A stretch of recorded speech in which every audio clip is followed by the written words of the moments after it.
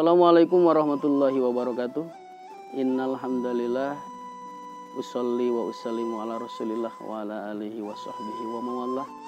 Ashhadu an la ilaha illallah wa ashhadu anna Muhammadar Rasulullah.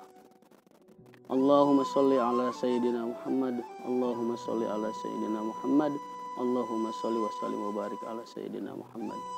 Alhamdulillah, alhamdulillah Puji beserta syukur mari kita panjatkan kehadirat Allah Subhanahu wa taala. Salawat beserta salam selalu ter, terlimpah curahkan ke baginda alam habibana wa nabiyyana Muhammad sallallahu alaihi wasallam.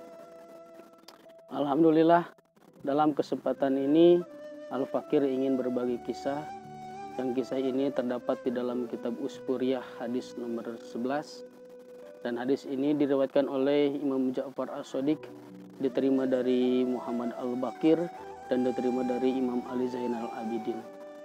Di dalam kisah tersebut diceritakan Sayyidina Ali pulang dari rumah Rasulullah untuk menuju ke rumahnya. Dan di rumahnya terlihat ada sosok istrinya yaitu putri Rasulullah yaitu Siti Fatimah yang sedang memintal benang untuk dijadikan kain. Dan di sebelahnya ada Salman Al-Farisi yang sedang berdiri sedang memisahkan kapas-kapas untuk dijadikan benang tersebut. Kemudian Imam Ali berkata kepada Siti Fatimah, "Wahai istriku, putri Rasulullah, apakah hari ini ada makanan di rumah untuk aku makan?" Kemudian Siti Fatimah menjawab, "Ya Ali, ketahuilah bahwa hari ini tidak ada sedikit makanan di rumah kita. Tetapi aku punya uang 6 dirham yang diberikan oleh Salman Al-Farisi sebagai upah memintal benang. Kemudian Sayyidina Ali meminta uang tersebut kepada Siti Fatimah. Wahai putri Rasulullah, tolong berikan uang itu kepadaku. Aku akan belikan makanan ke pasar untuk makanan anak kita itu Hasan dan Husain. Singkat cerita, Imam Ali pergi menuju ke pasar. Dan di perjalanan ada seseorang yang berteriak-teriak mengemis meminta bantuan sambil berteriak. Kemudian Imam Ali memberikan makanan eh, uang 6 dirham tersebut kepada orang tersebut. Dan singkat cerita Imam Ali tidak jadi membeli makanan ke pasar karena uangnya diberikan kepada orang tersebut. Kemudian Imam Ali pulang ke rumah dan di rumah melihat Siti Fatimah sedang menangis karena melihat suaminya yang tadi berangkat membawa uang 6 dirham untuk membeli makanan tetapi pulang dengan tangan kosong tidak membawa sedikit pun makanan.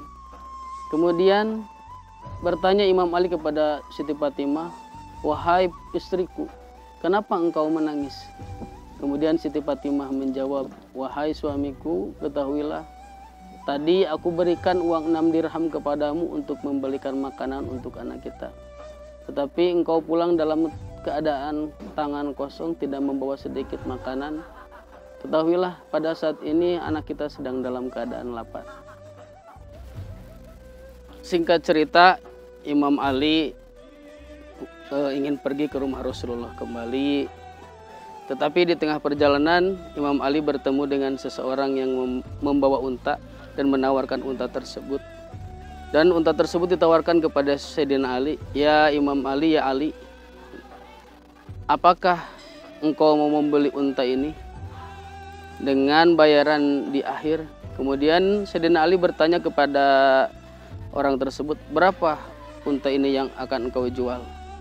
Kemudian orang tersebut bilang, "Unta ini akan saya jual sebesar 100 dirham."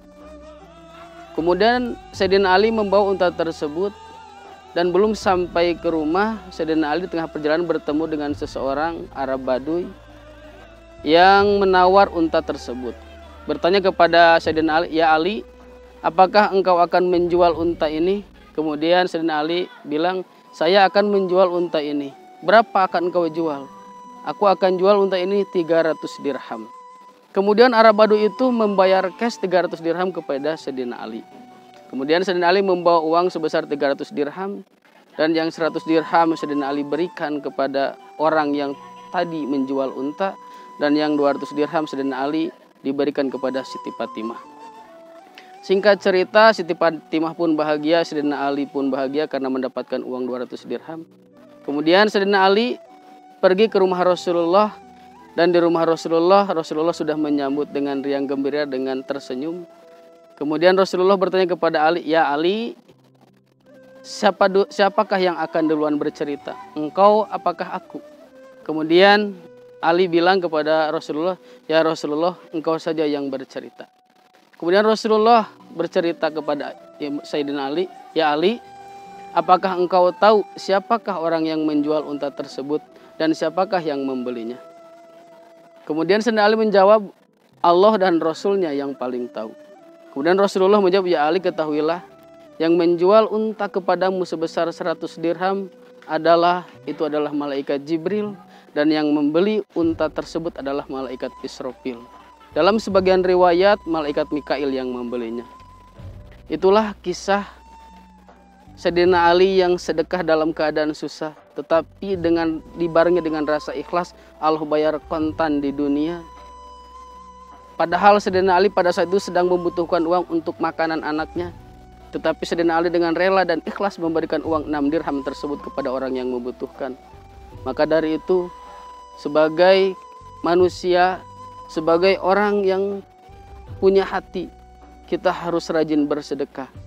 Dan bersedekah tidak harus menunggu kaya, tidak harus menunggu banyak harta, tetapi bersedekah bisa kapan pun dengan apa pun yang kita bisa, asal itu bermanfaat bagi orang tersebut. Mudah-mudahan kisah ini menjadi motivasi kita, bisa menjadi iktibar, bisa menjadi contoh bagi kita untuk lebih berbuat baik dan lebih pekat terhadap sesama dan bisa lebih memberikan sebagian rezeki kita kepada orang-orang yang membutuhkan. Sekian kisah ini. Wallahul muwaffiq ila aqwamit Wassalamualaikum warahmatullahi wabarakatuh.